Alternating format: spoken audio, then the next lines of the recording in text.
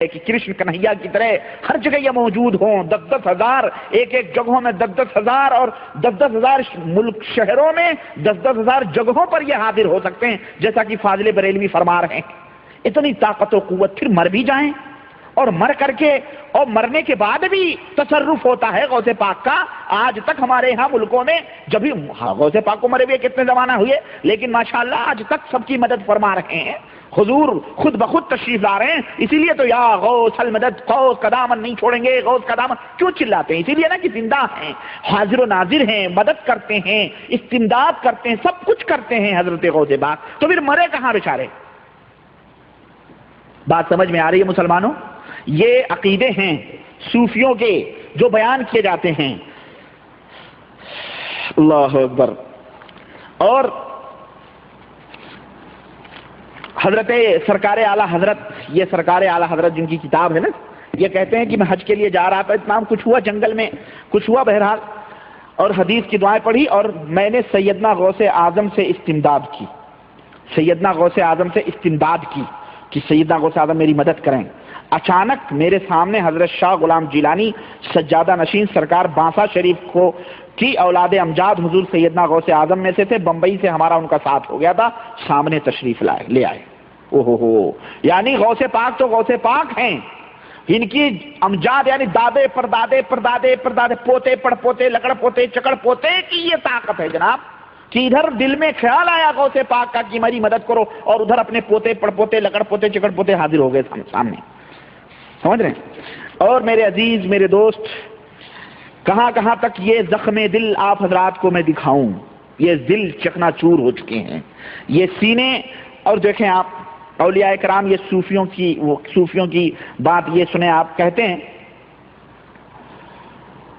کہ ایک بار حضرت سیدی اسماعیل حضرمی اجل اولیاء کرام میں سے ہیں، ایک قبرستان سے گزرے۔ ایک محدث جو محب الدین تبری ہیں، وہ ان کے ہمراہ تھے۔ سیدی اسماعیل نے ان سے فرمایا اتو امین بے کلام الموتا کہ آپ تو بہت بڑے محدث ہیں بھائی۔ کیا آپ اس بات کے اوپر ایمان لاتے ہیں کہ مردے زندوں سے بات کرتے ہیں؟ کیا آپ کا ایمان ہے اس کے اوپر؟ عرض کی ہاں۔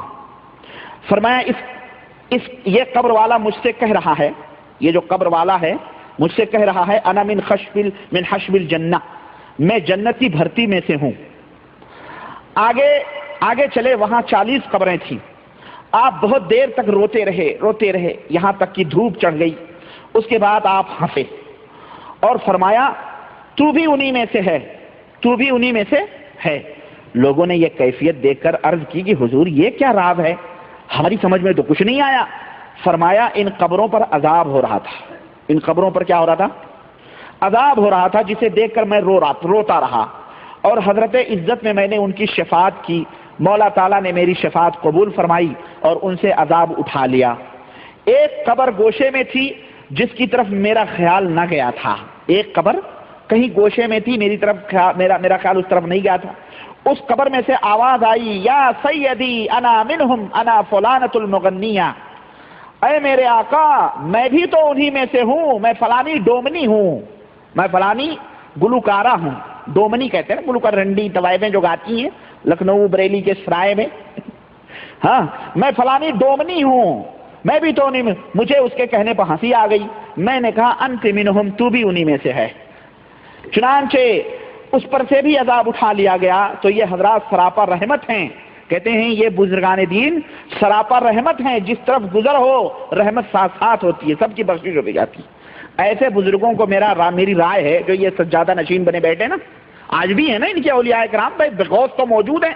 کہتے ہیں بغیر غوث کے تو جناب علی دنیا نہیں قائم رہتی ہے۔ ایسے لوگوں کو پھانسو۔ کہاں پہ ان کی درگاہوں میں سے۔ یہ درگاہوں میں بیٹھنے والے ولی اللہ ہیں، بقیہ ہاں، آپ لوگ تھوڑی ہیں ولی اللہ۔ جو ان کے عقیدے ان کے طور طریقے ان کے سلسلے ان کے مذہب ان کے فکر جو قبر پرست ہیں قبروں کی عبادتیں کرتے ہیں وہی لوگ اولیاء اللہ ہو سکتے ہیں۔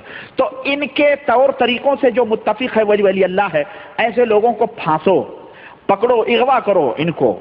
اور ان کو اغوا کر کے رسیوں میں باندھ کے ہندوستان پاکستان بنگلہ دیش جتنی بھی قبریں ہیں سب قبرستانوں میں انہیں لے جاؤ۔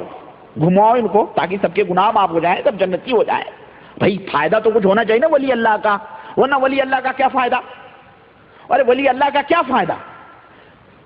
حضرت احمد رضا خان صاحب کہتے ہیں کہ حضور جو تھے، حضور صلی اللہ علیہ وسلم ہر مومن کے گھر میں موجود ہوتے۔ میرے پاس احمد رضا کی قرآن ترجمہ کیا ہوا، کنزل ایمان رکھا ہوا۔ نہیں، ضرورت نہیں، وہ معروف چیز ہے۔ یہ مسئلہ معروف ہے کہ حضور صلی اللہ علیہ وسلم ہر گھر میں موجود ہوتے ہیں۔ ہر گھر میں موجود ہوتے ہیں۔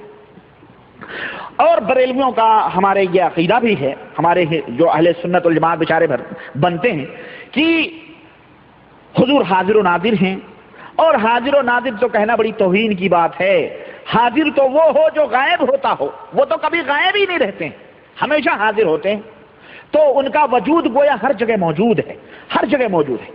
ان نا اہلوں سے، ان غیرت و حیا کو بیچنے والوں سے اور ان بدیانتوں سے پوچھو کہ حضور حاضر و نادر ہیں، حضور موجود ہیں، مومنوں کے گھروں میں موجود ہیں تو ذرا ان سے پوچھو کہ حضور جنگ جمل میں کہاں تھے؟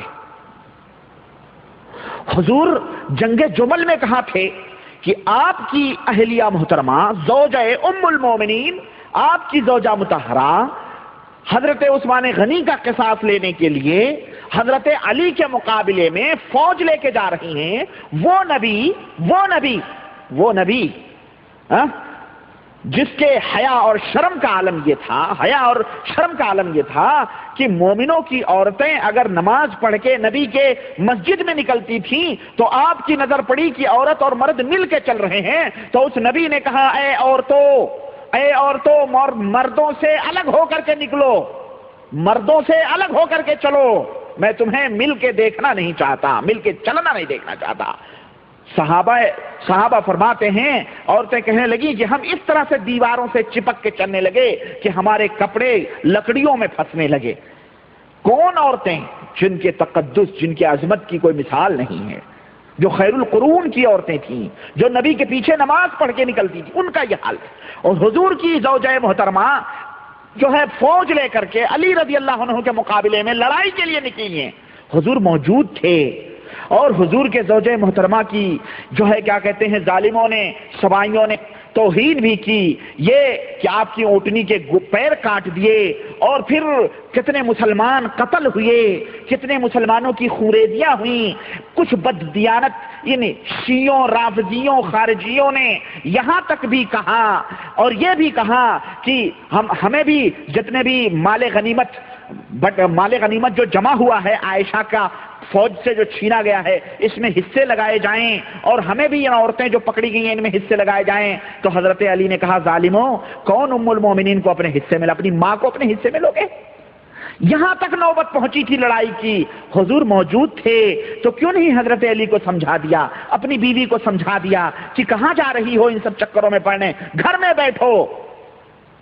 حضور کہاں تھے؟ جنگ صفین ہوئی، لاکھوں مسلمان قتل کر دیے گئے، دونوں طرف کے مسلمان مارے گئے۔ حضور کہاں تھے؟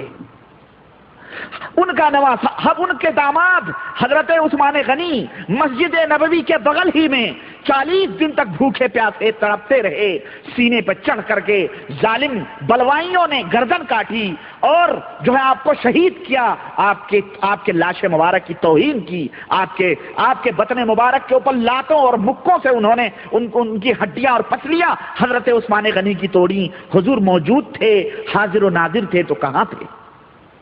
سوال ہے مسلمانوں کی نہیں ہے یہ؟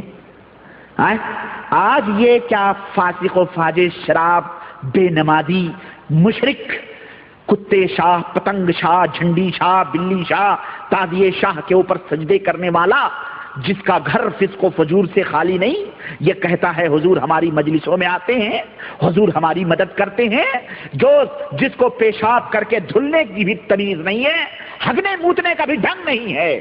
جو اپنے طور اور طریقے پر جو ہے وہ کر جو وہ کرتا ہے۔ اور یہ کہتا حضور ہمارے گھروں میں موجود ہیں۔ حضور ہر جگہ حاضر و نادر ہیں۔ اس سے بڑھ کر کے نبی کی توہین کرنے والا اور کون ہو سکتا ہے؟